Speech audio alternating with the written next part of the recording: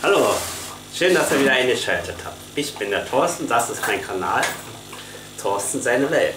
Heute werden wir mal wieder einen kleinen Rundgang machen durch meine Aquaristikanlage hier im Keller und rum. Hat sich allerlei getan mittlerweile, die zwei Monate, wo ich das letzte Mal den Rundgang gemacht habe. Also, viel Spaß, bleibt dran.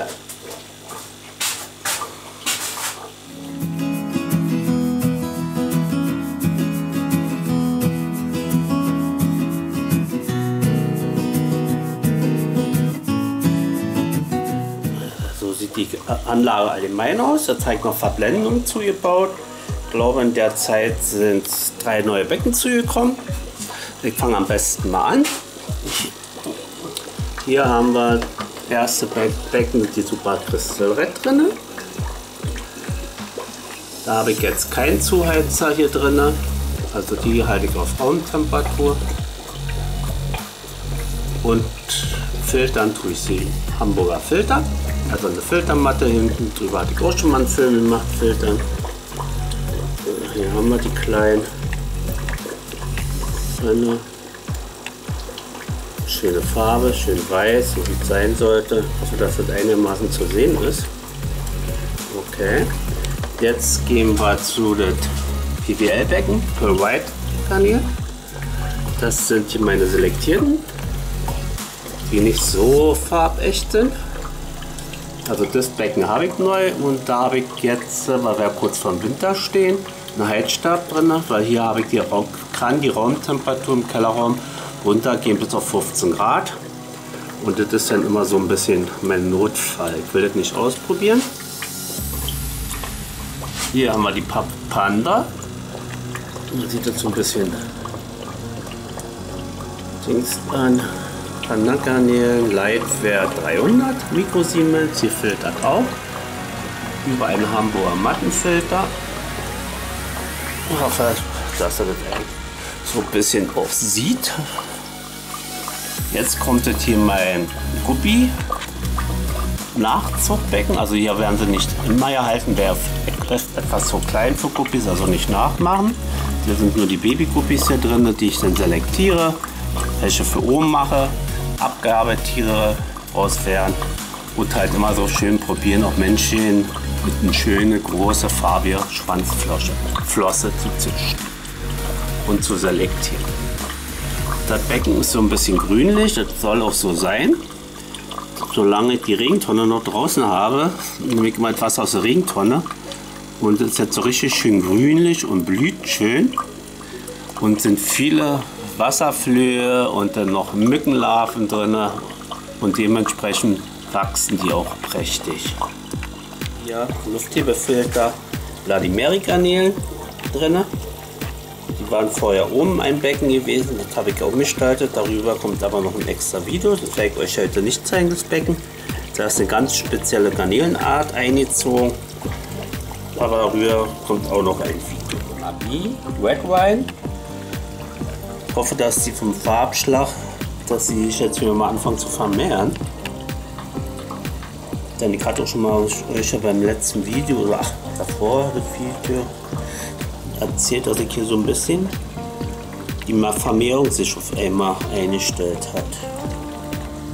Aber jetzt habe ich mal das Bienensalz äh, gewechselt und da wollen wir mal gucken, ob sich was verändert. Jetzt und hier habe ich die Blutulin drin, die ich oben auch im Becken habe. Davon habe ich den zweiten Stamm drin. Auch Hamburger Mattenfilter. Jetzt kommen wir zum nächsten Becken. Hier ist ein Becken in Vorbereitung, das heißt, es läuft auch ein.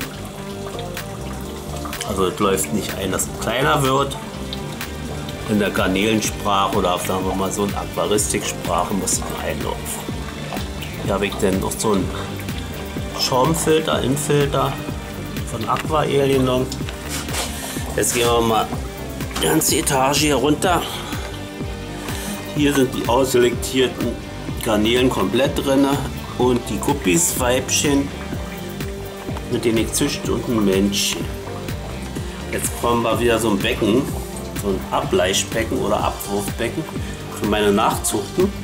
Einerseits eigentlich wollte ich zu Garnelen haben, aber das scheint mir zu klein und hier kommt wirklich dann die Guppies rein, Guppies Weibchen, wenn die dementsprechend kurz vom Wurf sind. Also man sieht es ja schon anhand von der Bauchgröße und dann kann man rechnen, dass die kurz vor der Geburt sind. Und hier haben wir hier noch ein Guppiweibchen.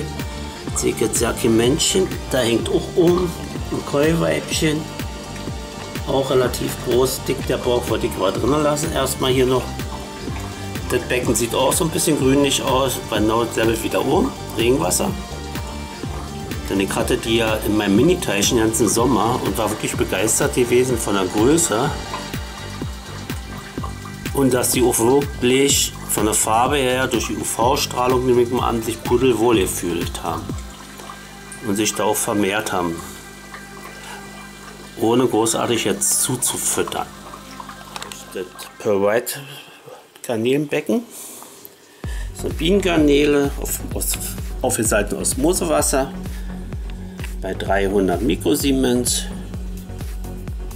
Gefiltert wird hier mit so einem Garnelen-Eckfilter, so ein bisschen schief da steht oder liegt. Bin zufrieden mit dem Stamm, der hier drin ist sind schöne weiße Tiere. Da ich euch ja unten gezeigt im Keller die ausselektierten. Und habe ich eine ganz rein weiße, wenn man sehen kann. Und manche, die halt nicht so super weiß sind. Hier ist das Blue Dream Becken mit diversen Posthornschnecken, blaue, rote drin. Dann ist hier noch ein Blue Dream. Was war das? Noch ein. Da haben wir hier noch den kleinen Krebs drin. Das sollte so ein Blue Dream, nicht Blue Dream. So ach, wie heißt denn? Der kommt jetzt auf den Namen. Muss ich mal nachkicken. Jetzt habe ich den Namen Blauer Florida Krebs. Die anderen im Becken zeige ich euch mal, aber Darüber habe ich auch schon mal ein Video gemacht.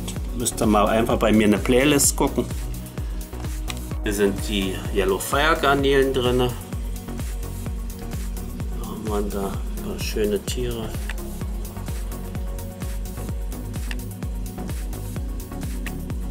Schön gelb.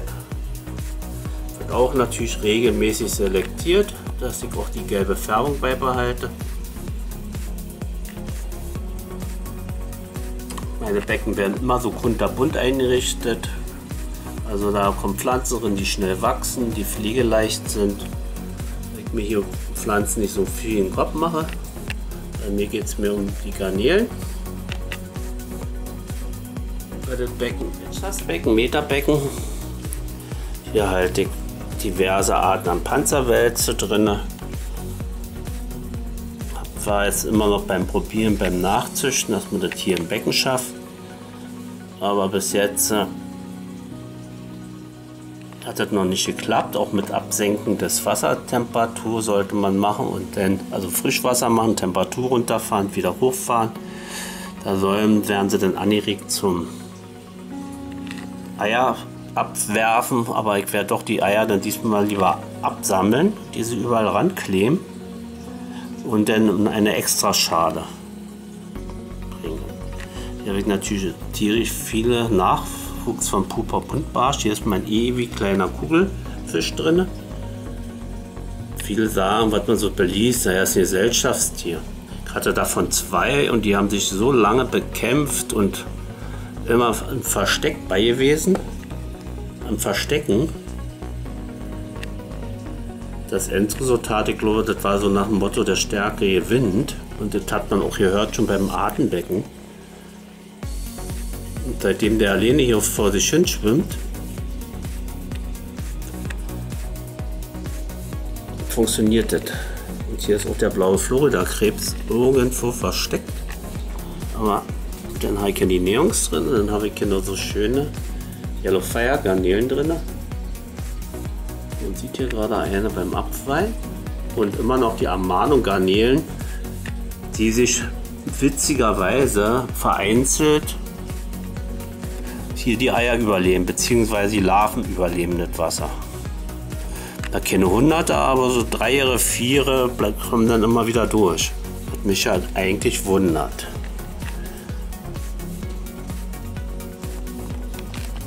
So. Das war jetzt der kleine Rundgang zwischen meiner Anlage. Die ist natürlich noch nicht komplett fertig. Da habe ich schon noch ein paar Becken noch geplant dazu. Kommt jetzt aber erst alle zu Oktober, November geht es los.